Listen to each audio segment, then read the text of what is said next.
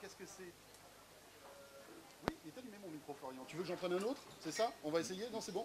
Et vous dites mais c'est pas possible. C'est un fond vert, qu'est-ce qui se passe? Eh bien non, c'est pas un fond vert. La preuve, regardez, là j'ai la vraie corde de la paillote où on est. On est au carré mer à Montpellier. Il est 18h, passé de 1 minute, on est en direct pour un 01 live hebdo exceptionnel. Donc pourquoi on est ici dans le sud de la France à Montpellier? Eh bien tout à l'heure, on va vous faire découvrir un événement ici qui est génial, qui est Big Up for Startup, euh, un événement qui est là pour promouvoir les startups de la région, parce qu'il n'y a pas qu'à Paris qu'il y a des startups intéressantes, loin de là, il y en a partout en France, et on aime bien ici à 01net TV venir ici à la rencontre de ces startups. Ce sera tout à l'heure, donc à partir de 18h30, on découvrira quatre startups aussi, euh, très intéressantes. Mais pour débuter ce 01 live hebdo, alors je suis un peu embêté parce que heureusement, heureusement, David Noguera est avec nous, il a fait le voyage. Bonsoir, Salut David Salut François, bonsoir Mais tout le monde. alors David, avec David, on va s'intéresser au Labo 01net. Comme d'habitude, c'est un vrai 01 live délocalisé comme, comme on, vous le retrouvez tous les jeudis soirs sur 01net TV. Mais euh, on devait avoir Pépé Garcia. Le problème, vous le savez, en ce moment, il y a des grèves partout. Et depuis 10 minutes, on ne sait pas où il est. Mais je crois, Florian, qu'on a des nouvelles. Hein, c'est ça? Où est-ce qu'il est? Non, mais c'est pas possible. Regardez-le, il arrive Mais il arrive, mais c'est quoi cette voiture, ce berlingot là? Non mais attendez, mais je rêve ou quoi? Mais allez vite, Pépé, dépêche-toi. Mais viens, mais oui, mais on a vu ta voiture, mais...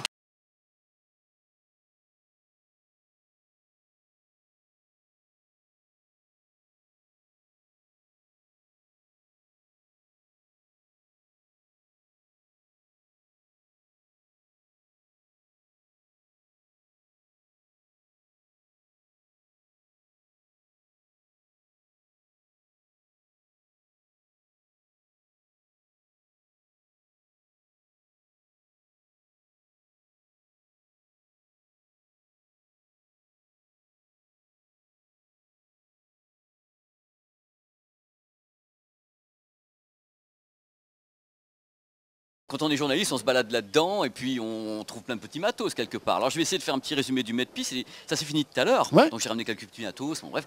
Euh, Pas mal de nouveautés ou... le- Tu peux le- y aller franco, hein, attention. peux y hein, aller franco. Tu sais que tu, tu- tu dis toujours tout ce que Euh, tu je as dis envie. toujours hein. tout ce que je pense. Le Medpi n'est pas un salon de nouveautés. Moi, j'ai jamais vu un truc qui sortait, euh, qui sortait complètement du lourd. Disant, Ah, regardez, on le lance au Medpi. Non, non, les enfants, on lance rien au Medpi. On lance tout à l'IFA, au CES, Ouais. au machin, au truc. Alors, il y avait beaucoup d'objets connectés. Vous savez, c'est euh, le monde des objets connectés. François Sorel, vous êtes avec moi, coucou. Oui. Les objets connectés, euh, c'était un peu redondant quelque part. C'est-à-dire qu'on se retrouvait toujours avec euh, le même type de produit. Euh, on avait beaucoup d'enceintes qui étaient toutes à peu près similaires. Comme l'été arrive, justement, on parlait tout à l'heure, il y avait en effet des petits drones, des gros drones, des moyens drones. Il y avait des enceintes qui flottaient, qui flottaient pas, qui coulaient avec des gens dedans. C'était absolument Oh mon abominable. Dieu, mais c'est Mais un- Titanic mais un truc, mais un truc. Oh non J'étais là. Mais Céline Dion qui chante et tout a- Non. mais, ouais, Eh, on aurait pu. Elle est belle ma chanson du bateau qui coule. C'est vrai. Mais, vraiment, c'était, c'était, c'est marrant à voir, mais en même temps, je, je dois dire, le, au Medpi, François, il y avait quand même un peu pas trop trop d'ambiance. Il Mhm. n'était pas super folichon. C'était sympa, mais on sentait que ça manquait un petit peu d'entrain. Et puis c'est aussi le reflet d'une d'une certaine crise, on va dire, du milieu. C'est-à-dire qu'il y a- il y a des, certains, certains, on va dire, euh, certains domaines high-tech qui marchent bien, d'autres un petit peu moins bien. Peu Voilà, c'est ça. On ne va pas rentrer faut trop dans les détails, mais euh, il, faut, il voilà. faut que ça tourne. On sent qu'il y avait des, des bons, il y avait des efforts, Ouais. mais que de l'autre côté, euh, on sentait que c'était un peu dur. Mais enfin, nous, on était là pour apporter euh, la classe, le charme, le talent, Ah, l'humour. évidemment, bien sûr, et le berlingot, surtout. terriblement à sa manifestation.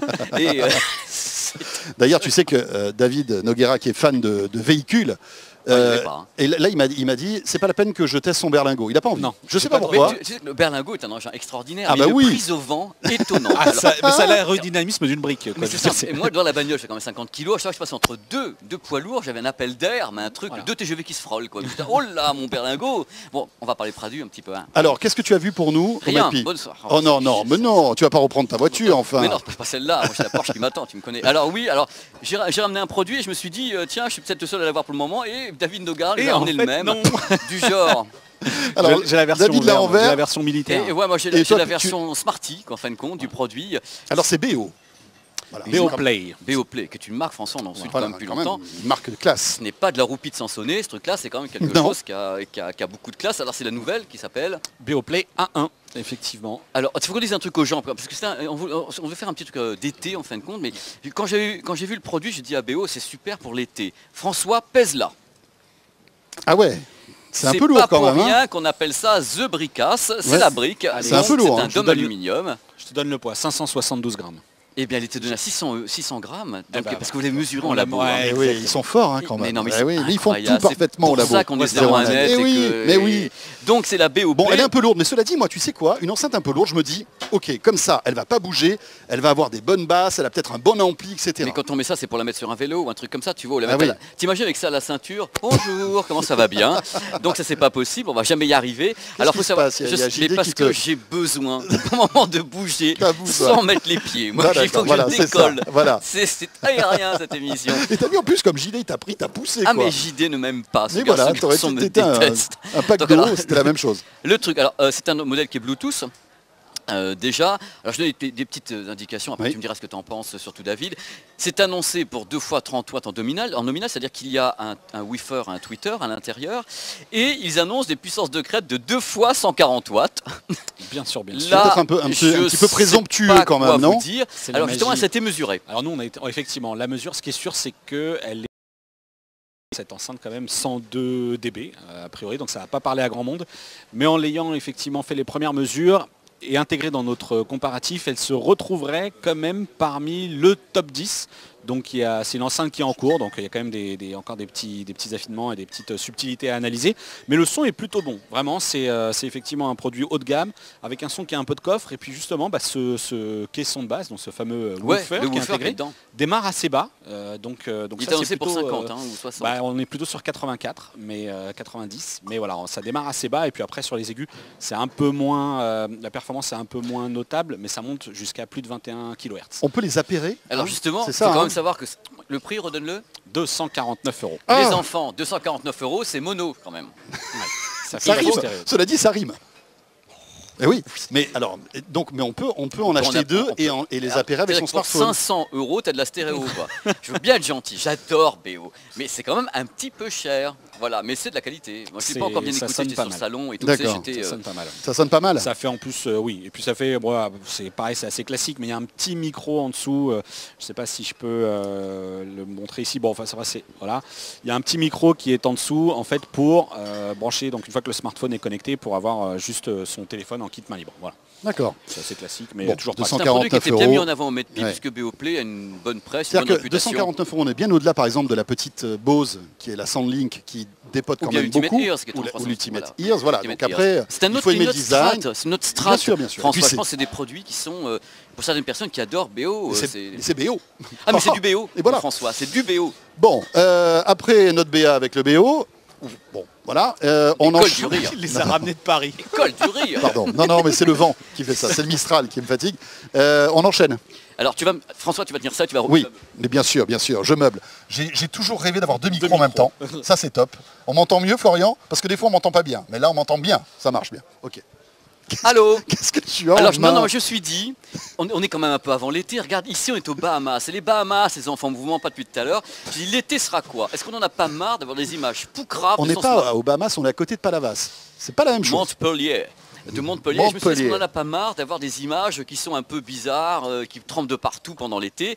J'ai trouvé des produits à pas cher, donc à 1000 euros, normal, Le truc sympa, quoi. le truc sympa. Voilà. C'est la folie des stabilisateurs 3 axes. On, en parle, on va en parler de plus en plus. J'aimerais que justement on en parle vraiment beaucoup euh, sur 01net, qu'on se positionne là-dessus. Alors il y a deux types de stabilisateurs 3 axes. Il y a les modèles qui intègrent directement la caméra. Tu vois la caméra, elle est là, elle Ouais. est intégrée dedans. Elle est là devant. Tu, tu- tu peux prendre le produit. Voilà, la caméra est là. Et on installe le smartphone ici en retour image. Donc je vois l'image comme ça, C'est-à-dire là, que je tu suis verras comme ça. l'image. Alors ok. je vais expliquer ce qu'est ce produit. C'est un produit qui s'appelle non parce que je l'ai pas mis en route parce que tout explose. Euh, donc non non mais attends. euh, Je veux pas que It ça is a explose. gun. Donc alors c'est- un modèle qui s'appelle, euh, alors on va dire G, alors les chinois disent G, alors ça va être DJI ou bien DJ, alors vous allez me le faire dans tous les sens, on s'en fout. Vous savez, DJI, alors, non, vous savez quoi ça a, été, ça a été la polémique de tout l'après-midi ici. Florian qui dit DJI, euh, Pépé on dit dit DJI. J, on s'en sort pas. Quoi. Voilà, donc Voilà. on va dire DJI si DJI, c'est la Osmo, c'est vraiment une bête de compétition parce que la caméra qui est dessus, c'est une caméra qu'on n'aura pas sur un smartphone n'importe comment. C'est une caméra qui est capable de faire du, du vrai, du vrai 4K, de la vraie 4K, vraiment Ah ouais, 96, d'accord. avec une lentille 9 couches, carrément grand angle, capteur 12 mégapixels, photo en 4000 par 3000, débit, alors le débit numérique de, de- de- de ce qui sort de ça, 60 mégabits seconde, on est en pro. Donc Donc, donc on a quand même de, On n'est pas sur les débits des smartphones qui sont à 16 mégas euh, par grand vent. Là, on est sur un truc qui est quand même vachement bien, une belle stabilisation. Parce que je l'ai vu fonctionner, je ne l'ai pas encore complètement testé, je l'ai ramené tout à l'heure, il a fallu que je pleure. Tu peux pas, tu peux pas, Omet tu Pi. peux pas tester ça dans ton berlingot. C'est pas possible. berlingot volant. possible. C'est est pas possible. Est-ce que je peux parler d'un autre produit? Ah, Est-ce que tu peux te dire un micro? Évidemment, mais j'adore. Regardez, c'est superbe quand même avec deux micros. Hein. David, tout de suite ça jette. C'est la classe. Qu'est-ce qui t'arrive là je, je suis venu maintenant avec un autre produit plus léger. Ah, plus léger, peut-être un peu moins cher aussi. un peu moins cher, je vais te demander de le tenir 3 secondes, il s'appelle le Feiyu. Alors le Feiyu, l'avantage du Feiyu, c'est qu'il est à 299 euros. C'est Là c'est vraiment l'accessoire pour les gens qui, qui en ont marre de voir tout bouger avec leur smartphone quand ils filment n'importe quoi. C'est un truc qui est trois axes, bien sûr, et donc il y a une gyroscopie à l'intérieur. Euh, il coûte donc C'est voilà, génial je- hein, quand même ce mais, hein. c'est fabuleux, je vais te montrer des, des modes. C'est magique. hein. Mais en plus, il y a une ingénierie là-dedans. Pour arriver à faire ça, on se rend pas compte. Mais Bah, c'est pour ça que il y a- plein de euh, capteurs, de gyroscopes, d'accéléromètres. Enfin, Alors oui, celui-ci est assez particulier, donc une belle autonomie de 3 heures. Il peut prendre des gros smartphones, c'est-à-dire les plus gros, donc l'iPhone 6 Plus. Et vous avez des modes où vous faites des... Regarde. Oh là là, vous faites le haut, le bas, les côtés, vous repassez. Voilà, je te mets en avant, en arrière. Il est, il est... Ça suffit, Pépé. ça Non, mais il faut que j'en parle de plaît. ces choses-là. là. Non, parce que là, Ça bon, peut franchement, mettre- se mettre au bout d'une perche. c'est pas le propos. Également. Mais ça suffit, François Sorel. M'embêtez pas dans mon je émission. sais pas ce qui se passe Et, là. euh, je- je- J'ai l'impression qu'on perd a, tout. il y a trois moteurs euh, sans balai à l'intérieur, donc pas d'à-coup. D'accord. Alors moi par contre je l'ai essayé, celui-ci c'est vraiment une petite merveille. hein. Il, il tient vachement bien, des smartphones de, de- de gros poids. On peut vraiment bouger et la stabilisation optique, regardez un Et petit on- peu, Et on est à quel prix? 299 euros. Bon, alors c'est toujours une somme, mais c'est quand même plus abordable Tout que l'autre, qui n'a rien à voir, hein, puisque là on a une, caméra 4K, là c'est simplement un support en fait. C'est un support, on met ce qu'on veut dessus. euh, donc il s'appelle le Feiyu, le Gimbal G4 Plus. Un produit de l'été, Upside Down, You Turn Me. Bon, ça Voilà. vous fait rêver. Oh, joli Diana Ross. Si, si, si ça vous fait rêver, tout ça, dites-le nous avec le hashtag 01live. On est en direct, vous le savez, sur YouTube, Dailymotion et sur 01net TV. Voilà. Vous pouvez réagir. Je vais essayer de lui piquer l'osmo. On ne pique rien du tout, j'ai mis du temps à le chercher. Merci. Bonne journée, monsieur David Noguera. Bon, Donc, quoi d'autre? Et moi, je- si les images sont prêtes, j'ai vu des, des drones sur place. Oui. J'ai encore vu un drone d'une marque qu'on connaît bien, puisque la marque G, on y va, au les cœurs, D- D- DJI, qui est le Phantom 4. Alors je l'ai vu tourner, j'ai vu tout. Alors, C'est un produit qui m'a épaté par son prix déjà, parce qu'il n'est pas, cher du- il est pas cher du tout, il tourne. Il coûte que 1600 euros. Ce produit, il fait un tracking absolument de dingue. On peut se balader avec un tracker dans la main et faire son jogging. Il te suit. Il peut filmer tout- tout- tout- tout- les autres sont autour, mais il te, il te voit que toi. Il ne voit que toi, ce produit. C'est beau. Et il a un vrai système pour éviter les obstacles. Tu peux carrément essayer de le faire foncer contre un mur, il va ne, il ne va pas le faire. Ouais. Anti-collision et autres, attention à la vitesse, 72 km heure. Le drone. Grand public. Ça va vite. 28 minutes d'autonomie et une vraie caméra 4K qui est dessus également, qui est capable de filmer en 30 images par seconde. D'où le prix quand même. D'où le prix. 1600 euros, évidemment que c'est cher. Et Mais on a un truc qui est presque semi-pro là. il, est hein. pro, il est pro, Ah, il est parce pro, que euh, la caméra est elle-même sur un axe, elle est sur un gimbal. C'est-à-dire qu'à l'intérieur, il peut faire ça, la caméra Mhm. est équilibrée par le, par le gimbal, et vous avez un retour euh, image qui peut être sur 5 km. 5 km Tu es en train de faire et tu as un retour image. Tu arrives à avoir une, re- une réception jusqu'à 5 Ouais, km. Il y a un retour image, il, balance, il balance la sauce. C'est génial. Et euh, voilà, avec, si ça va pas, ou si un truc qui va pas, un moteur qui déconne, il perd une hélice, euh, un truc comme il fait Titanic dans les airs, Ou- il revient à sa batterie. base, il a le Smart Return et il évite les obstacles en même temps. Je vous le fais. Et voilà. Oh, 1600 euros. Il est là Il est là, mon 1600 euros. DJI. euh, 1600 euros dans la Méditerranée. C'est un produit qui est fabuleux. Ah ouais, Vraiment, non, je le dis en toute sincérité. je-. Le Phantom 4. le Phantom 4 DJI. DJI, c'est comme ça qu'on DJI, DJI. DJI. C'est DJI. DJI. ouais. Et Bah, imagine un DJ, tu le frappes. Ça fait DJI, donc c'est bon. C'est une Non, non, non. émission Non, non, non, non, non. unique au monde. Non. Alors, on y va, on continue. Quoi d'autre Ah oui, Faut vite oublier. Tu t'en vas encore Non, je vais pas loin. Ah. Mes petits écouteurs de l'été, ça tu peux les regarder Oui. Ils sont tout mimi. C'est les Ah. Donc ça, c'est pour écouter la musique sur la plage juste après. Voilà. Et ce qui est intéressant, c'est que tu noteras qu'il y a euh, un seul fil pour les retenir, pour, pour les, pour les mettre. Voilà.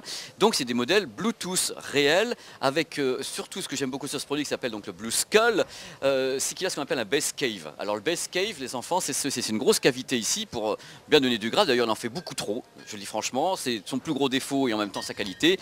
Il fait du grave à la David Guetta sur du Pink Floyd.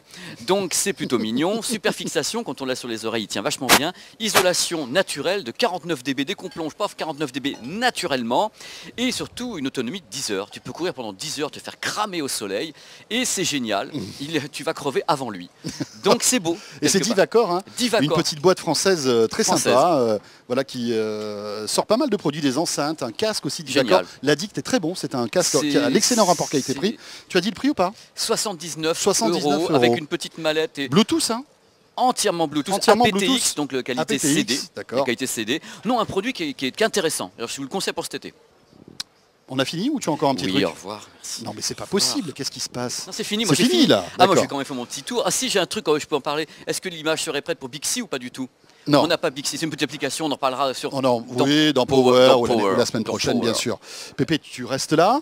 David Noguera est toujours avec nous. Et là, direction le Labo 01net. Exactement. C'est compliqué, hein, les conditions de travail. Je là, pense hein, à mes collègues qui sont à euh, Paris. mais voilà, c'est ça. dur. Et je vous rappelle pour tous ceux qui viennent de nous rejoindre, ce n'est pas un fond vert derrière. C'est vraiment la mer avec le kitesurf derrière. Regardez, ça bouge et tout. Ah, c'est un ring de boxe en fin de compte. T'as mis le fond vert derrière. Il y a un petit palmier derrière Pépé, c'est vrai. Tout ça est vrai. Voilà. David, C'est à moi. Donc effectivement, un des produits qu'on a beaucoup aimé cette semaine au labo, le Verni Tor, un smartphone à 140 euros. Alors, on pourrait avoir euh, plein d'a priori sur ces smartphones à tout petit prix. En fait, c'est une super surprise. Testé, approuvé, 5 étoiles par le labo. D'abord euh, parce que c'est pour un smartphone à ce prix-là, il y a un super équipement à l'intérieur, un processeur Mediatek 8 cœurs, euh, cadencé en l'occurrence à 1,3 GHz, 3 Go de mémoire vive. Donc c'est vrai que une bonne c'est- plateforme enfin, 3 matérielle. Go de mémoire vive, ça c'est c'est du jamais vu sur un téléphone à 140 c'est euros. extrêmement rare. C'est rare quand même. De, de la même manière que Odo, on passe un peu du, sur le côté Odo, il y a Ouais. un lecteur d'empreintes digitales, ce qui est encore plus rare sur un smartphone à 140 euros et qui fonctionne plutôt bien ce lecteur d'empreintes. Donc processeur Mediatek, 8 cœurs, 3 Go de mémoire vive, un écran 5 pouces avec euh, une petite concession sur euh, la définition d'image parce que c'est juste du 720p, mais cette définition en fait qui est pas très élevée, et bien justement permet au processeur de Et tourner voilà le petit capteur d'empreinte, on le voit à l'image à C'est l'instant. hein. c'est exactement ça. Donc là, on voit aussi une image euh, Mhm. du dos qui en fait un effectivement c'est c'est du plastique, mais le toucher est très très doux, très agréable. Et euh, donc cette euh, définition assez basse de l'écran, bah, finalement, permet au processeur de gérer euh, la partie graphique. Et donc on peut jouer sur ce smartphone. On arrive quand même à, à plus de à plus de 45 images par seconde sur nos tests, donc c'est tout à fait fluide. Donc vraiment pour un smartphone à, à 45 euros.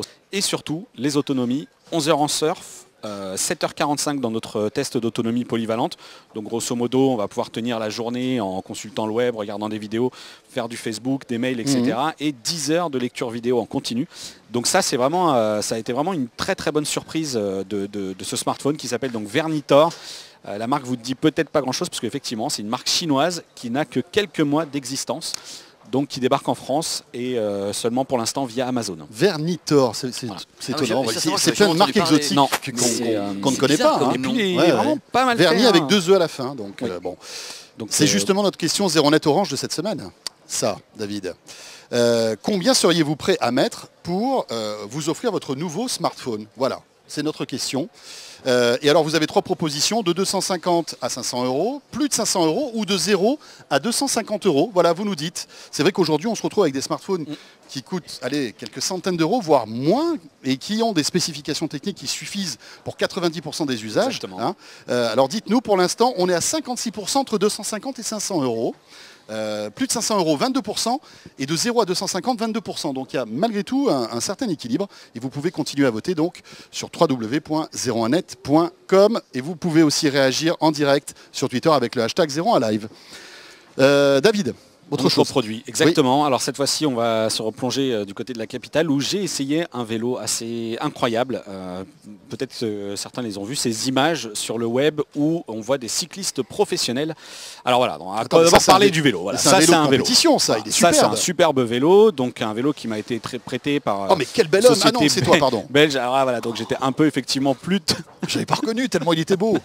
C'est vrai. Par Voilà. contre, les locaux, on les reconnaît. hein. Ah donc oui. les locaux on les reconnaît. ça, c'est- Ah. Voilà, alors a priori, ce vélo de Dunkerque. course, il est euh, plutôt classique, un vélo qui m'a été prêté par une, une société euh, belge, mais en fait, il y a bien quelque chose qui se cache dans la gourde, c'est un interrupteur, tout simplement. D'accord. Et dans la gourde, en fait, Mais c'est il une y a une fausse batterie. gourde C'est une fausse gourde. C'est une fausse Eh gourde. oui. En fait, c'est la fameuse polémique des vélos truqués, avec euh, ce fameux, euh, cette fameuse séquence une aide- vidéo. C'est une aide au pédalage. C'est une aide au pédalage. Voilà. Et là, on le voit donc sur l'image. Il suffit de commencer à pédaler. On appuie sur le bouton. Et là, les pédales s'emballent. Et continue de tourner toute seule. C'est-à-dire que vraiment, on peut enlever les pieds des pédales Oh, les et ça tourne. Mais c'est quoi ce Voilà. vélo de brigand. Non mais ça c'est ça a été la, la polémique euh, sur en 2010 euh, sur le Tour des Flandres, ça a suivi ensuite euh, depuis bon bah il y a des chances. David, tu- Alors l'autonomie c'est là que c'est un petit peu compliqué parce que on ne peut pas donner d'autonomie directement. La batterie elle est euh, Elle surcharge quand elle tu est- pédales ou pas du tout? Non, elle se recharge pas du tout parce qu'effectivement ça imposerait d'avoir des composants qui alourdiraient cette technologie, donc ce livre qui pèse à peu près 1,8 kg. Et du coup, euh, on ne peut pas récupérer d'énergie. Et on ne peut pas. Enfin, c'est très difficile d'estimer Mhm. aussi l'autonomie parce que quand on s'arrête de pédaler, le moteur se coupe. Ouais, c'est ça. Et quand on freine, il se coupe aussi. Euh, ça, c'était justement euh, en lien avec des vidéos qu'on avait vues où les vélos tombaient et puis ils continuaient à s'emballer sur place et ça tournait, ça tournait, ça tournait. Donc ça, c'est un petit peu, euh, c'est un petit peu limite. Donc là, cette assistance en puissance, lorsqu'on va l'activer, elle va envoyer 200 watts, puis se stabiliser à 150. Euh, on va pas se mentir, il faut quand même continuer à pédaler quand on va arriver euh, dans des bonnes côtes. Mais lorsqu'on se met sur le bon braquet, c'est quand même une sacrée aide. C'est-à-dire qu'on peut vraiment franchir des... Enfin moi je suis ouais, sportif du dimanche et franchement je, je me suis vraiment fait plaisir avec... Tu euh, peux frimer, on n'a pas ce l'impression vélo. que le vélo n'est absolument pas connecté. Et t'es et là, l'allure c'est altière. la vraie performance. par les dieux. euh, Il y a, C'est il y a- il y a un- délicieux. toute un- une motorisation qui est intégrée dans le cadre. Je ne sais pas si on peut avoir cette, la photo de, de comment ça fonctionne, mais grosso modo, il y a un moteur donc vertical qui est intégré dans le cadre et qui est relié à la pédale. Et donc voilà, ça tourne tout seul. Et euh, l'autonomie, on peut faire à peu près une heure de vélo en fonction de la cadence que l'on adopte. C'est dans la gourde, Ah, c'est le sais Ouais, le parfait clair. vélo truqué. Bon, en revanche, il faut se méfier si le mec il fait 200 km et qu'il boit pas un coup. Là, là, il faut, là, il faut. Il a euh, mal nulle part, le mec. il est a là. mal nulle il a, il Non, transpire même vraiment, pas. euh, et tout. C'est sympa. Attendez. Non, comme quoi, il n'y a pas de dopage finalement, tu vois, dans, dans le. Bah, dans le cyclisme. la bonne gourde, Là, voilà, La bonne gourde L'UCI, enfin l'Union des, des- de cyclistes internationaux s'intéressait surtout à- au dopage des, des coureurs, et ben maintenant il va falloir s'intéresser au vélo. Euh, petite réaction concernant le, le téléphone dont tu nous parlais il y a un instant, le vernis. Euh, tiens, on salue Henri qui est avec nous sur Twitter, Lucien, Brice, etc. Et Henri qui euh, nous dit Où est Jérôme Colombin? Ah bah oui. Alors vous dites, il est en train de se baigner, peut-être. Bah, on n'est pas loin. Il est en train de se baigner, mais pas ici. Il est en vacances. Il reviendra la semaine prochaine. Voilà, ne vous inquiétez pas. Jérôme accordé quelques jours de congé parce que la semaine dernière, il était au CES Asia. Donc voilà, il recharge les batteries, vous le retrouvez la semaine prochaine. Petite question concernant le vernis, c'est la qualité de l'appareil photo. Alors, Parce que pour le 140 cap- euros, Alors, on peut se demander ce que ça vaut. Alors, c'est un capteur 13 mégapixels à l'arrière qui n'est pas extraordinaire, mais qui n'est pas mauvais non plus. C'est-à-dire qu'on les tests, en fait, on- nous ont montré qu'il n'y a pas le, le piqué qu'on aimerait avoir parce que c'est très lissé. Mais la colorimétrie est correcte. Donc voilà, c'est euh, grosso modo à 140 euros. On pourra quand même prendre des photos. Il faudra éviter plutôt la, basse lumière, mais euh, en plein jour, euh, il n'y a pas de, quoi avoir honte sur ce type de, produit. Bon, très bien. On a fini pour les produits. Oui. David, on a terminé. Petite question, euh, mon cher moi. Pépé, parce que bon, évidemment, de plus en plus de gens te suivent partout sur YouTube. Bah, sur- mais pas autant que vous, monsieur Sorel. Je, je- etc. je- je- je ne suis que votre petit padawan. Alors, on voit euh, souvent un peu comment tu travailles, etc. D'ailleurs, il y a eu un, un power il n'y a pas longtemps Oui. où tu nous montrais un petit peu euh, comment tu, comment tu travaillais. C'est quoi ton, en ce moment ton téléphone un petit peu de, voilà, de prédilection, ce- celui avec lequel tu fais toutes tes belles images? Non, mais tout le monde s'attend à dire Ouais, il va, sortir un iPhone. Non, mais attends, mais c'est la question qu'on se pose. Il y a plein d'auditeurs qui me, qui me demandaient ça la dernière Bah fois, ouais, je me posais la question. J'ai toujours eu un, un faible pour, pour le S6. Alors attends, tu sais que le 7 est sorti. Oui, j'ai eu le S7 entre les mains. Et alors? Tu préfères le S6, en fait? La caméra frontale, j'attends pas les mêmes choses. Les gens attendent peut-être des trucs en basse lumière et autres. Mhm. Et dans ce cas-là, le S7, étant donné qu'il a moins de pixels, plus gros, machin truc, euh, en basse lumière, il s'en sort mieux. Mais moi, j'ai besoin de super def. J'ai besoin d'une def très très vibrante. Et je trouve, je me permets de trouver que le S6, avec la caméra dorsale, a une définition plus vibrante que le S7. Mais le S7 s'en sort mieux en basse lumière. À vrai dire, il faudrait que les deux soient en un. Enfin bref, c'était un choix de Samsung. Ouais. J'ai pas à commenter ça, mais je préfère travailler encore avec mon S6. Tiens, d'ailleurs, je vous invite à aller sur zeronet.com et regarder le test d'Adrien Branco qui a euh, Ah oui, oui. justement fait un Top 10 des récapitulatif. photo. vu, Voilà, vu. Il est d'accord avec moi en plus. Récapitulatif des meilleurs smartphones photos. C'est vrai qu'avec les beaux jours qui arrivent, etc., on a envie de faire de belles photos. C'est vraiment un comparatif à regarder sur Zeronet C'est un parce que c'est vraiment dire. C'est un super pro de la c'est vraiment impressionnant. Ouais. Le premier est un téléphone qui, alors je ne vais pas vous le dire pour que vous alliez Ouais. sur zeronet.com, c'est un téléphone qui est carrément inconnu au bataillon. Voilà. C'est pas un iPhone, c'est pas un Samsung, Ah, mais c'est pas un LG. Et puis ce qui est et étonnant, c'est que le Samsung. Le, le- le Samsung Le est juste derrière, S6, mais c'est le S6, S6 qui est derrière, et pas le S6, S6. voilà. Ce qui est étonnant, c'est qu'il y a des téléphones effectivement qui sont sortis cette année, G5 ou S7, et qui ne sont pas meilleurs que les versions précédentes. Donc, on arrive à un euh, ça, moment c'est, où tous ces- ils sont déjà excellents, tu vois, c'est l'excellent de l'excellent après. Bon, ben voilà, à découvrir sur zeronet.com. Euh, N'hésitez pas, vous pouvez toujours voter et nous dire justement euh, bah, ce que vous en pensez. Que seriez, combien seriez-vous prêt à mettre dans votre futur smartphone? Vous avez trois propositions pour vous de 0 à 250 euros, de 250 à 500 ou plus de 500. Eh bien, c'est quand même, voilà, il y, a- il y a quand même une tendance qui ressort, c'est un smartphone de 250 à 500 euros. Bah, les gens veulent du truc dedans, ils veulent une belle veut caméra, ils veulent la qualité, un bel écran. Effectivement, Euh, on est ils plutôt... ont besoin et voilà. puis ils vont acheter après une gimbal et tout et puis ils vont tous nous piquer notre job. Bonne journée messieurs dames. Non. Donc voilà, on est foutus. Mais c'est bien qu'on nous pique notre job. Ah Eh oui, ouais, bah, on va attendez, au bout d'un moment, on va aller, on va aller faire du kitesurf à côté parce que là, franchement. Bon, très bien. Ben, merci beaucoup. C'est moi, c'était un plaisir. euh, Puis alors, cette arrivée, Ah euh, ouais, Tony c'était- Triante qui les- franchement, c'est- c'est c'est- c'est- ça va rester le berlingot. Je pense que Quand c'est on, comme la- quand on, on t'a vu tester l'overboard en avant-première mondiale sur un truc hyper high-tech et t'arrives comme ça en berlingot, moi je suis impressionné. Non. C'est beau en même temps, non, ça avance. c'est C'est très une beau. belle prise au vent. David, merci. De rien, bonne soirée. Voilà, euh, David, qu'on retrouve bien, bien, bien évidemment sur Zéro TV avec des On Drive euh, en préparation, j'imagine. Voilà, ce sera très bientôt. Euh, alors, ce Zéro Live Hebdo est terminé. On reste ensemble, surtout vous ne bougez pas, un petit générique, et on reste ici à Montpellier au Carré Mer pour s'intéresser au Big Up for Startup. On va tout vous expliquer dans un instant, on va faire découvrir quatre startups du cru, les amis. A tout de suite.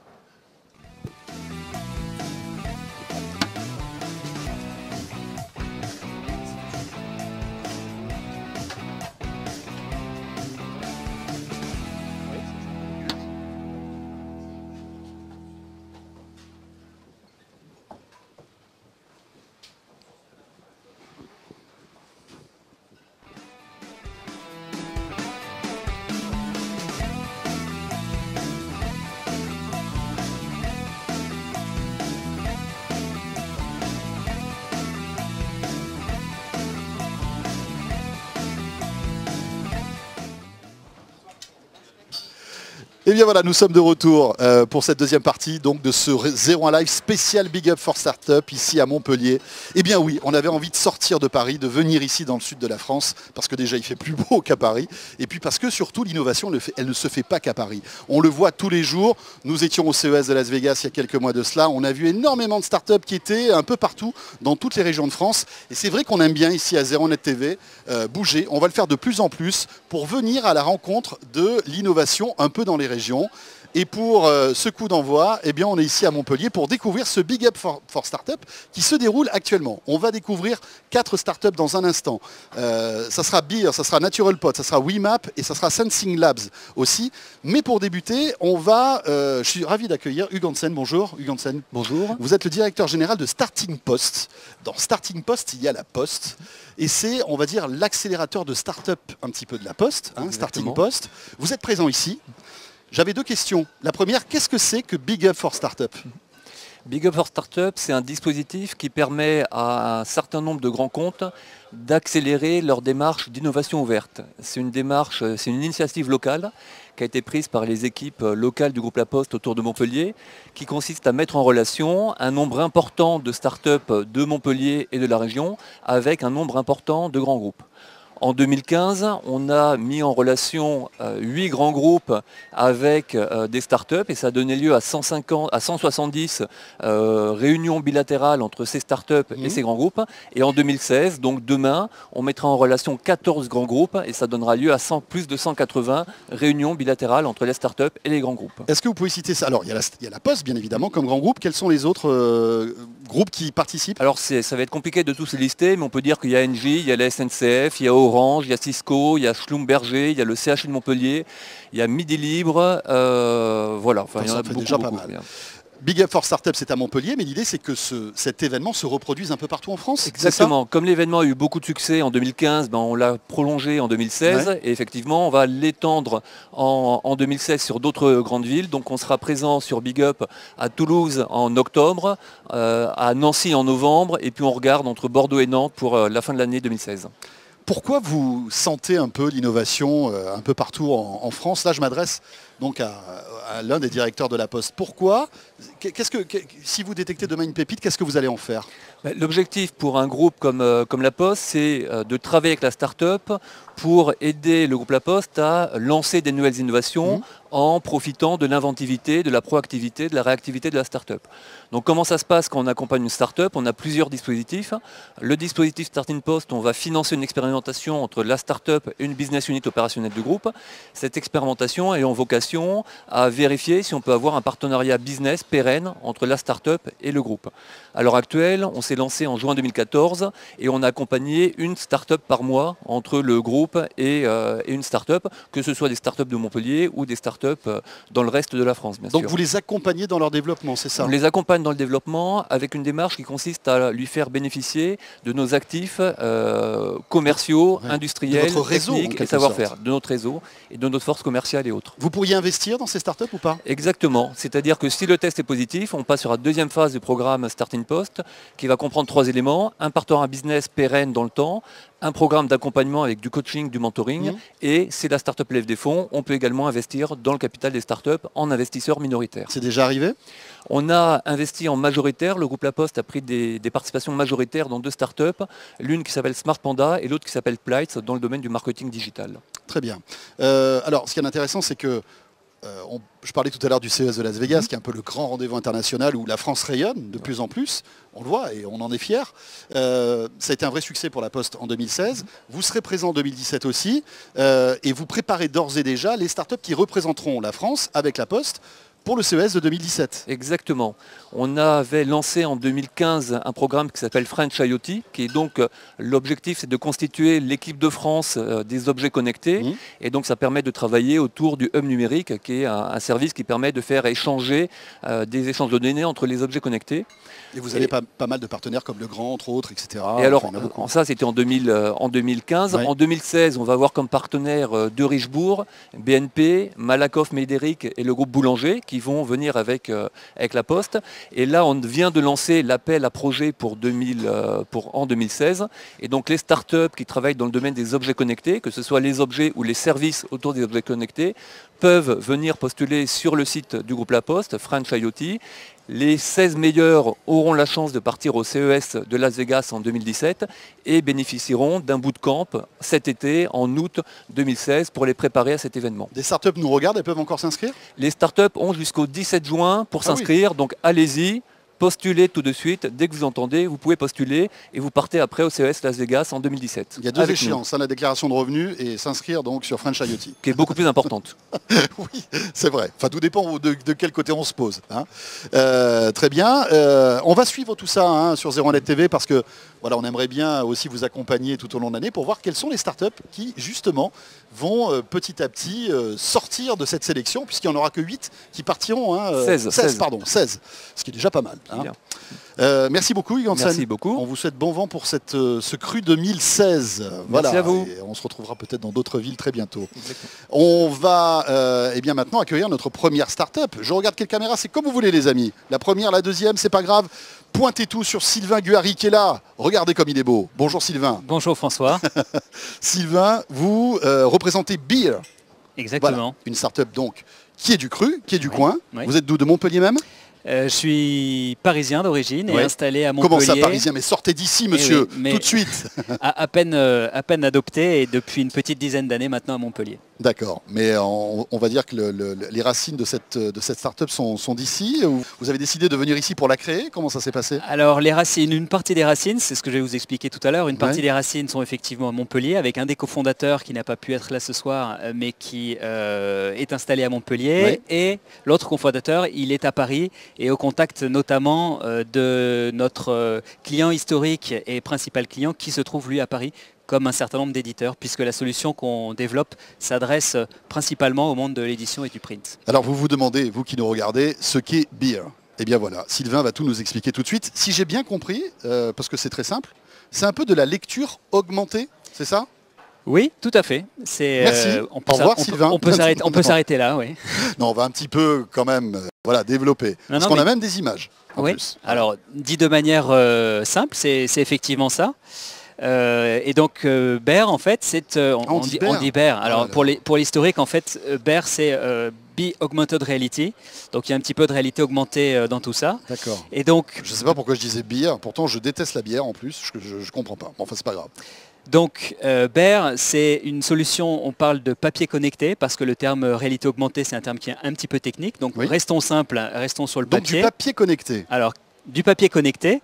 Concrètement, le papier connecté, euh, c'est euh, une solution mobile, euh, une application mobile de réalité augmentée qui est complétée avec une plateforme web de gestion. Et notre solution de papier connecté s'adresse principalement aux éditeurs et aux imprimeurs. Expliquez-nous comment ça marche pour tous ceux qui nous regardent et qui pour l'instant n'ont pas compris. Voilà. Alors, J'ai, euh, je sais pas moi, que ce soit une pub, un bouquin, euh, un dépliant, euh, je sais pas quoi. euh, j'ai ça, j'ai un smartphone avec votre appli. Tout à fait. Alors, donc il y, a les, il y a les deux composantes. Il y a la partie effectivement application mobile, et ça, elle s'adresse donc à l'utilisateur final. Bien sûr. L'utilisateur installe une application, euh, il la télécharge, il installe une application sur son smartphone et il va scanner euh, les pages d'un livre, euh, un magazine, euh, une revue de presse, un dictionnaire, avec des pages donc qui vont être indexées dans nos bases et sur l'écran de son smartphone vont apparaître des interactions qui, vont qui vont présenter une forte complémentarité avec le support papier. Vous pouvez nous donner un exemple? Alors un exemple... euh, Parce que vous avez pas, enfin vous avez oui. des accords avec Nathan, Oui. avec Hachette. Tout- Qu'est-ce que j'ai vu d'autre? Le guide du routard aussi, par Tout exemple. à fait, euh, guide du routard, donc qui est une, euh, le, le guide touristique qui fait partie d'Hachette. Oui. Euh, je peux citer effectivement deux ou trois exemples. Euh, historiquement, notre exemple historique, donc c'est le partenariat qu'on a monté avec la- le groupe Revue Fiduciaire. Donc là, on est dans le monde professionnel et juridique. Les utilisateurs, ça va être des juristes, des comptables qui vont, avec l'application euh, qu'on a développée pour le compte de la revue fiduciaire, euh, scanner euh, des ouvrages juridiques Oui. et vérifier qu'il n'y a pas de mise à jour et que le contenu qu'ils ont sur papier est toujours pertinent. Voilà, donc là on est dans le monde professionnel. Euh, vous parliez du routard, euh, un voyageur va scanner une page du guide du routard et il va voir apparaître sur son téléphone des points d'intérêt supplémentaires qu'il va voir autour de lui sur lesquels il va pouvoir obtenir des informations supplémentaires. Et si on doit citer un autre exemple, Qui peuvent être réactualisés, c'est ça qui est génial. tout à fait, oui. Parce que c'est vrai qu'un guide, à partir du moment où il est imprimé, bah, euh, voilà, il peut devenir obsolète, même si c'est euh, quelque chose qui est réédité régulièrement. Donc là, Absolument. finalement, je vais me retrouver avec la dernière version de- d'une information. Tout à fait. Et ça, c'est le deuxième volet du coup de Comme notre quoi le papier n'est pas solution. mort finalement. hein. C'est notre, euh, c'est notre mantra. c'est notre mantra, le papier n'est pas mort. Euh, on redonne une deuxième vie au, au papier, ou en tout cas, on, on- on crée une forte complémentarité entre le papier et le digital. Et donc, je disais, effectivement, pour donner ce côté euh, flexible et ce papier qui, qui, qui garde une actualité et, et qu'on continue à mettre à jour, euh, il y a le deuxième volet de notre application qui est effectivement la plateforme web. Et ça, c'est l'éditeur, donc les clients pros, qui se connectent sur la plateforme pour décider quelle page ils vont rendre euh, connectée, quelle page ils vont rendre euh, interactive et quel type d'interaction ils vont créer. Et ils peuvent le mettre à jour régulièrement, notamment en suivant euh, les campagnes de papier connecté qu'ils auront déployées sur la plateforme. Vous en êtes où aujourd'hui? Donc c'est votre, votre modèle est pérenne, etc.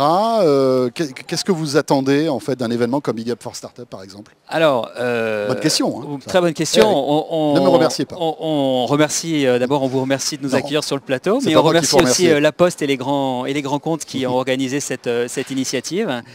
Euh, et donc, euh, c'est le cas d'ailleurs avec la Poste. On est en discussion sur un certain nombre de sujets euh, Alors avec la Poste. qu'est-ce que vous pourriez imaginer comme interaction avec la Poste? Alors, les, les possibilités sont assez nombreuses. On est encore en train d'explorer un certain nombre de choses, donc je ne peux pas trop m'étendre sur les expérimentations qu'on est en train de mettre en place. C'est encore secret. C'est très secret, mais on met en place, des- enfin, on peut avoir des problématiques aussi bien sur du courrier euh, grand public et puis sur les volumes assez importants de, de courrier que la Poste peut traiter.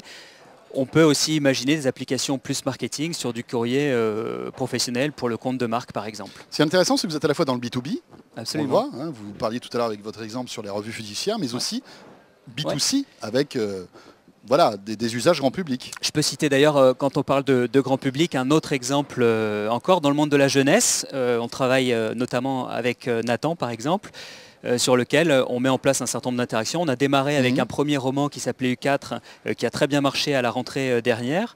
Et donc où- ça c'est un roman Oui.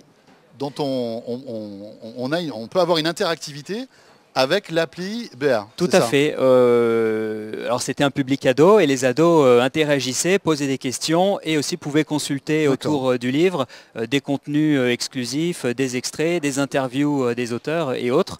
Et on est en train de discuter avec Nathan sur d'autres types d'applications, type des imagiers pour enfants, des ambiances sonores. Très bien. Ben, écoutez, bravo. On va suivre de près donc BR. B-E-A-R. Voilà. Voilà. Merci, beaucoup. Merci beaucoup. Bonne soirée. au Et bon vent à. On enchaîne avec une autre start-up maintenant, euh, alors euh, qui est euh, à mes côtés, sur ma gauche. Il s'agit d'Antoine Célès. Bonjour Antoine. Bonjour, C'est bien comme ça qu'on dit Célès ou Sale c'est Yes. C'est yes. Comme c'est yes, en C'est fait. ça, Voilà. exactement. Euh, vous êtes le PDG donc de Natural Pad. Euh, alors là aussi, euh, vous êtes, on va dire, poussé par la poste. hein? Euh, et euh, vous, vous êtes plutôt, on va dire, dans le serious game euh, pour la santé, c'est ça? Racontez-nous un petit peu ce que c'est Natural Pad. Alors ouais, bah, je suis l'un des fondateurs de NaturalPad, Ouais. PDG, mais on est quatre fondateurs à l'origine. Donc on les salue. voilà. Merci. Pour pas qu'ils vous disent après, ouais, tu nous as pas su saluer et tout ça. Ok, Voilà, donc ça, au moins, tout le monde est content. Il n'y a pas de Voilà. souci. Euh, et donc en fait, bon, on fait des jeux vidéo basés sur le mouvement pour faire faire de l'activité physique adaptée aux seniors. Euh, on n'aime pas trop le terme de serious game au final, c'est vrai que c'est un J'ai lu terme assez Internet, marketing. hein. Ah ouais, non, mais Il y, en a un qui a écrit ça, je vous le lis tout de suite. on est catégorisé dans le serious game parce Ouais. que c'est euh, c'est un terme marketing qui permet C'est un truc un peu vieilli en plus serious game, on sait pas trop ce que c'est, puis c'est tellement antinomique. Bah, c'est ça, ouais, l'idée. un jeu sérieux, euh, comme si des jeux sérieux pouvaient exister, c'est bizarre. On est totalement d'accord. L'idée, c'est justement d'être purement sur du fun et euh, d'utiliser ce levier de- du côté, loi- du côté bah, ludique pour, euh, pour faire, faire en fait plus de mouvement aux personnes. D'accord. Donc voilà. Donc Un pour nous, exemple pas des jeux sérieux, c'est juste des jeux. Un Bah, exemple. Un exemple. euh, Aujourd'hui, on a plus de 1400 seniors en maison de retraite qui font de l'activité physique adaptée euh, tous les jours avec notre solution. Euh, donc ils vont faire euh, des pas de côté, des exercices de transfert d'appui. Donc ça c'est normalement leur kiné ou leur ergothérapeute qui euh, va essayer de leur faire faire euh, 10 minutes d'exercice comme ça tous les jours. Et nous ils vont jouer à nos jeux, ils vont faire une demi-heure, trois quarts d'heure sans se rendre compte qu'en fait ils font l'exercice. Pour eux ils jouent et ils sont pas en train de faire un exercice physique. Donc c'est voilà, vraiment ça qu'on un cherche. aspect ludique euh, sympa. Euh, C'est pas, c'est pas une corvée que de faire ça. en Absolument pas. C'est du jeu et c'est euh, voilà, ça devient une séance, une séance agréable et ça peut être un moment partagé. C'est aussi ce qu'on cherche, c'est Mhm. que ça devienne euh, bah, que la séance de sport ou d'exercice devienne un moment partagé, que ça soit joué en famille, que les petits enfants puissent jouer avec la personne âgée typiquement. Pourquoi pas? Mais Alors là, c'est pas dans les maisons de retraite, ça peut être n'importe où. Là, ça peut être au domicile et c'est là où Mais alors, voilà. Mais alors justement, comment ça marche votre système? Il faut des appareils. euh, c'est, comment ça marche? Alors aujourd'hui, on utilise des accessoires de console. Euh, donc euh, c'est des accessoires qui sont grand public que vous pouvez acheter à la Fnac, à Amazon. Donc un ordinateur, une Kinect par exemple, ça suffit pour, pour utiliser nos jeux. Et, euh, Ah, donc c'est train de- vous qui vous servez encore d'une Kinect. en fait. Nous, on, cherchait un peu la, sort- la- on sert, on se sert la- encore la de la société Kinect qui s'en 2, servait encore, voilà, parce que ça. bon, autant vous dire qu'il y en a plus beaucoup, mais c'est bien. Bah, en tout cas, ça, ça Il y a encore pas mal de Kinect du Microsoft n'a coup. euh, voilà. C'est ça. Non, mais c'est une superbe, c'est une superbe invention de, de Microsoft. C'est sûr qu'elle est, elle était peut-être pas assez bien euh, prévue pour les gamers. C'est peut-être pas le bon marché. voilà, les, Mais dans la santé, pas- on a beaucoup de choses à faire dans la santé euh, avec la Parce que Kinect. techniquement, c'est vraiment quelque chose de, de très intéressant le Ah Kinect. ouais, ouais, c'est euh, en termes de ce que ça permet de faire, faire de la capture Mhm. de mouvement sans avoir à poser un capteur sur une personne, c'est très intéressant et Microsoft a- avait pas mal d'a- D'avance. par Mhm. rapport à ses concurrents quand ils ont sorti Ils ont la même racheté une Kinect. société, je crois d'ailleurs, il y a quelques années de cela, justement pour améliorer Kinect. Ouais, et puis ils avaient, euh, ils avaient recruté euh, quelques, quelques grands pontes euh, du domaine de- du traitement d'image, traitement du signal.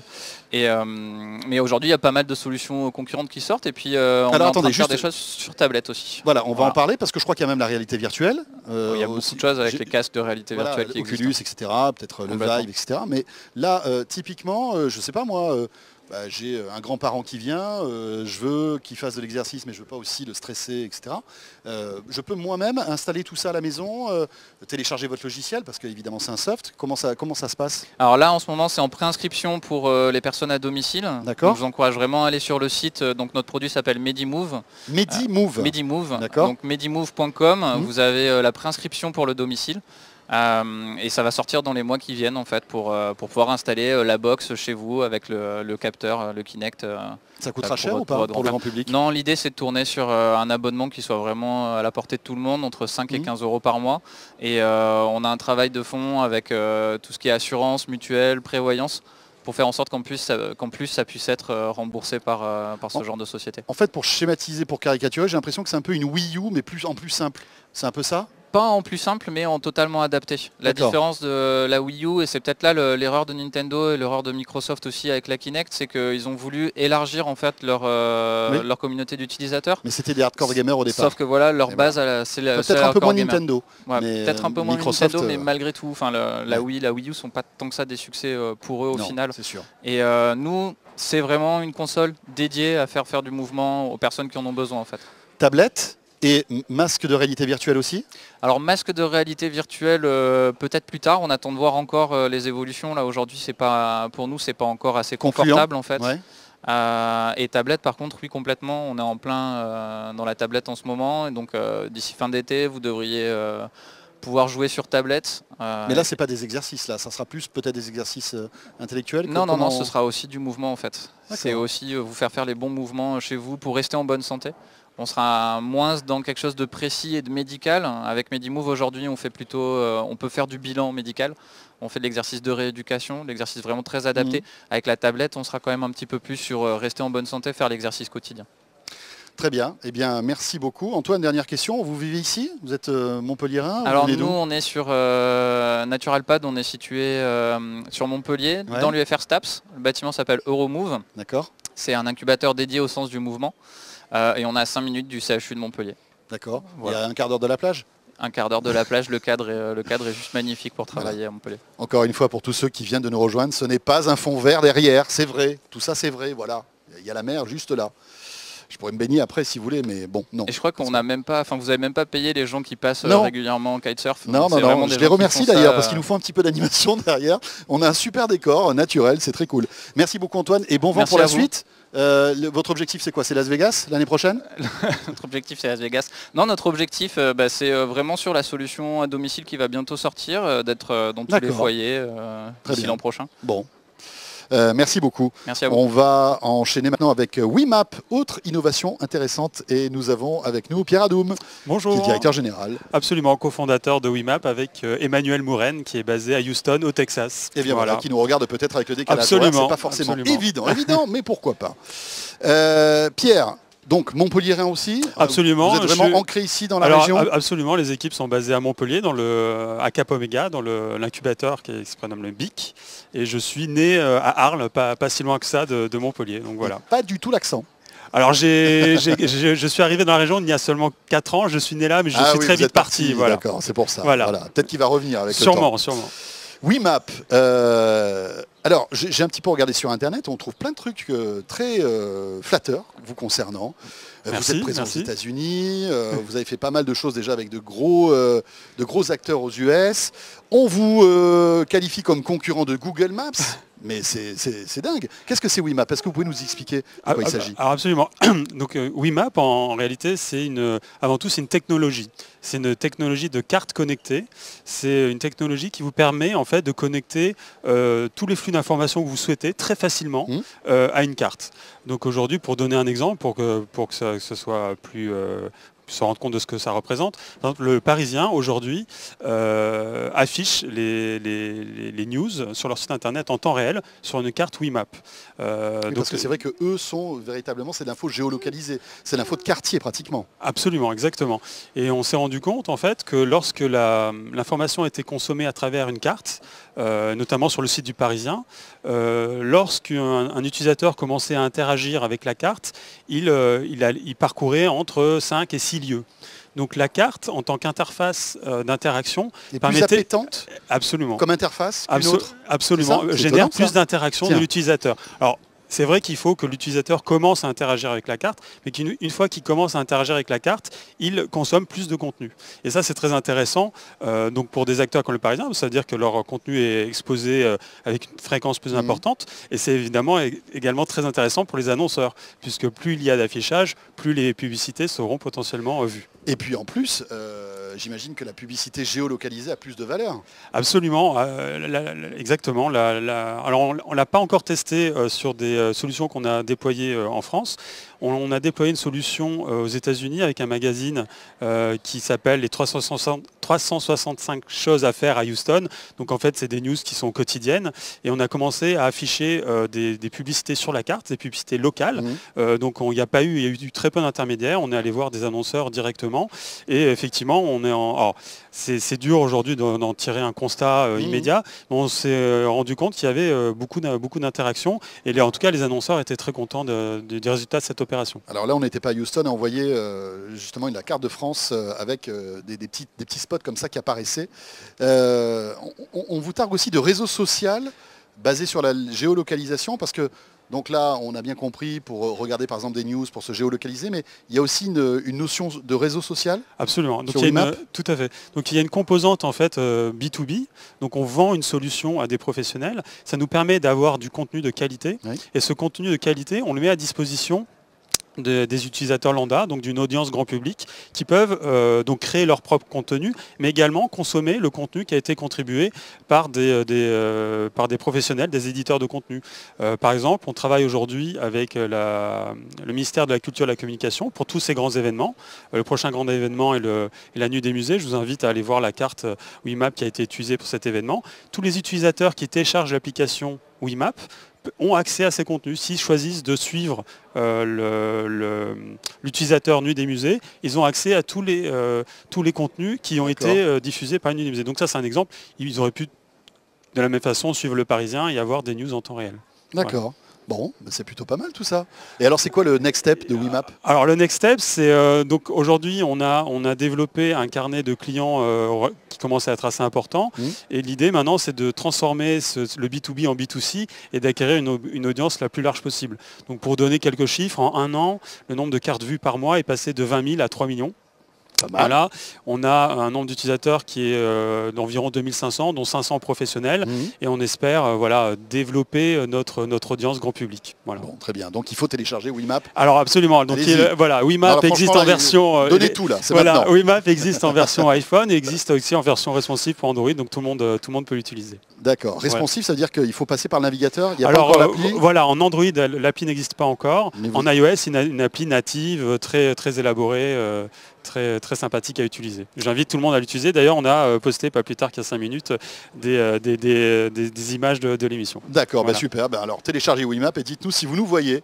Merci beaucoup Pierre et bon vent pour la suite. Merci Encore infiniment de nous avoir reçus Bah, sur votre attendez, plateau ça, ce ça- soir. ça fait plaisir. Merci et puis de voir aussi que vous avez comme ça un rayonnement qui va bien au-delà de la région, qui va jusqu'aux US. C'est, bah écoutez, voilà, il faut en tirer une certaine fierté. Ben, Bravo merci, à vous. mer- Merci infiniment. Merci. Merci. Dernier invité pour ce Zéro en Live spécial Big Up for Startup. J'ai le plaisir d'accueillir Ludovic Kellier. Bonjour Ludovic. Bonjour. Alors, vous êtes directeur du développement de Sensing Labs et regardez ce qu'a apporté notre ami Ludovic. Une espèce d'appareil bizarre. Mais vous vous dites, mais qu'est-ce que c'est que ce truc-là? C'est pas une montre connectée, c'est pas un smartphone. Qu'est-ce que ça peut être?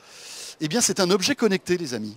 Oui, oui, c'est un objet connecté. Je dis pas de bêtises, hein. Ah, c'est exactement ça. Je vais être Voilà. le Pépé Garcia de ce soir. Eh ben voilà. Attention, hein, je ne sais pas si vous allez être à la hauteur. hein. Vous Ah avez non. un berlingot ou pas? Euh, non, pas Ah, encore, mais je me suis dit que voilà, j'avais raté quelque chose en arrivant. mais- Alors, qu'est-ce que oui. c'est C'est c'est, euh, c'est un objet connecté, c'est un capteur connecté, c'est un capteur euh, qui, vient, qui va venir euh, se positionner euh, sur les compteurs, sur les compteurs eau, gaz, électricité. Alors, l'objet connecté, c'est ça, c'est Oui, pas ça. c'est- hein, non, on est c'est d'accord. hein. C'est oui, cette petite partie qu'on rajoute euh, sur à- le compteur, sur voilà, le compteur, compteur. directement sur le compteur, qu'on vient raccorder sur le compteur. Alors, je vous avoue, je regarde pas tous les jours mon compteur d'eau à la maison. On a tous ça à la maison. Oui, aujourd'hui, quasiment euh, partout euh, en France, euh, vous avez maintenant des compteurs qui permettent d'être équipés et de pouvoir communiquer. Donc ça permet de récupérer toutes vos consommations d'eau. Alors il y a deux buts. hein. Soit il y a de la facturation, et là c'est les différentes utilities régies qui, Ouais. qui, euh, qui délivrent l'eau, l'électricité ou le gaz, ou alors ça va être à des buts de- d'efficacité énergétique. Donc pour euh, mieux vous montrer comment vous consommez votre eau et à quel moment vous consommez votre eau. Et puis en fonction des différents logiciels aujourd'hui qui apparaissent sur le marché, ces logiciels vous permettront bah, de vous dire, voilà, vous pouvez mieux consommer.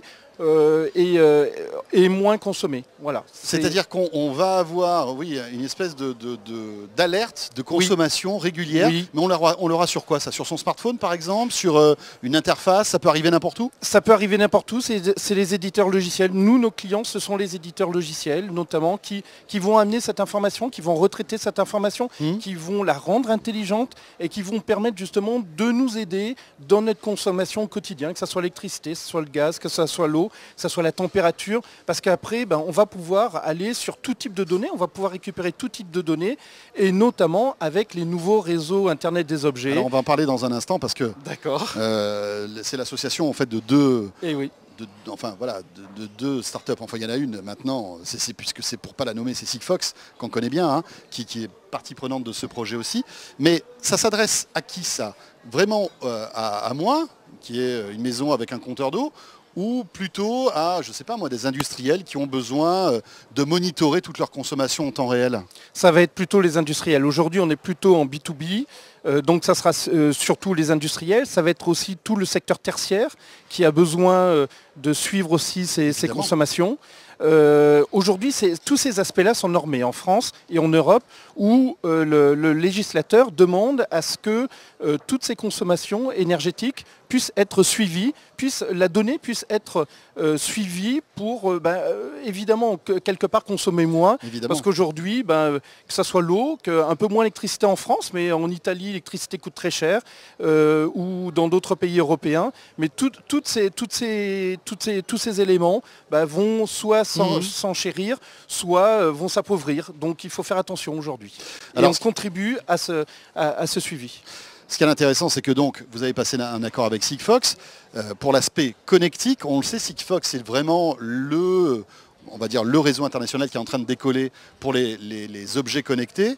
Euh, donc pas besoin de Bluetooth, pas besoin de Wi-Fi. Exactement. C'est d'une simplicité enfantine. À partir du moment où on le branche, euh, voilà, on, on va pouvoir monitorer à distance n'importe où en France et j'allais dire presque dans le monde euh, ce système. Euh, alors, Enfin, dans des zones de couverture de Sigfox. Exact. Alors de Sigfox, mais pas que, hein, pas que, Pas parce qu'aujourd'hui, on est ouvert euh, à toutes les technologies euh, longue distance, donc euh, pour, pour euh, équilibrer, parce qu'aujourd'hui, ils n'offrent pas tout à fait les mêmes services, et que l'objectif, c'est nous d'intégrer tout type de technologie. Ça va être, ça va être Obgenus de, Mmh. de, de Bouygues, ça va être euh, La Poste, qui, qui est en train de, de, de déployer son, son réseau, en tout cas qui le teste sur Paris. Ça va être aussi Orange qui est en train de travailler euh, aussi à, à déployer son réseau sur la partie française. Mais ça va être Avec Laura notamment. avec, hein. avec Laura, oui, avec la technologie Laura. Exactement. Concurrent, on va dire, de, de Sigfox. Euh, moi, Enfin- je, je- je préfère dire que c'est complémentaire parce qu'aujourd'hui, Sigfox, il n'y a pas d'équivalent à Sigfox Ouais. aujourd'hui dans, dans le monde. Et, euh, et, euh, Oui, chacun ses forces et ses faiblesses. Exactement. on va dire. Voilà, exactement. Et qu'aujourd'hui, que ce soit Laura ou Sigfox, ils ont des avantages, ils ont des inconvénients. Il n'y aura pas une technologie qui répondra à tous les besoins, Mhm. parce qu'il y a des besoins qui sont spécifiques, il y a des besoins de métier. Et en fin de compte, les deux méritent d'exister et, et- et aujourd'hui répondent bien aux attentes de- du marché. Saint-Cyr Labs, donc, vous êtes bien à Montpellier Ça va, ça se passe bien Ah oui, très très bien. oui, On est bien, on est mieux qu'à Paris, non oui. J'ai l'impression. Ah oui, c'est Vous ça. êtes tout le temps souriant, vous avez bonne mine. euh, Oui, c'est- oui, bah oui, oui, on le voit bien. hein. Oui, on profite pas de la mer tout le temps. hein. non, non, mais c'est toujours comme ça en fait. hein. Voilà. Et ouais, mais vous travaillez un petit peu. Et oui, même un peu plus qu'un petit peu d'ailleurs. Voilà, c'est ça. C'est le principe des startups. Ouais. Ouais, pensez à nous, on va reprendre l'avion tout à l'heure pour repartir sur Paris. Donc euh, voilà. Bon, en tout cas, merci beaucoup Ludovic Kellier. Et puis, euh, Ju- Juste un dernière petit chose. mot, un Oui. petit mot sur la Poste quand même, euh, parce que euh, grâce à la Poste et notamment grâce à, à Big Up euh, for Startup, on est rentré en contact avec la Poste l'année dernière, qu'on a été labellisé French IoT, donc D'accord, donc vous faites partie du, du programme French IoT de la Exactement. Poste. Ça, c'est bien. qui, euh, la, Poste nous a emmenés à Las Vegas en, en début d'année, début janvier, pour nous permettre justement de présenter les produits. On est À compatible avec le, l'international, un peu. à l'international avec le hub numérique. D'accord. Nos produits sont vendus partout en Europe, partout en Europe, même un petit peu plus en Europe qu'en France.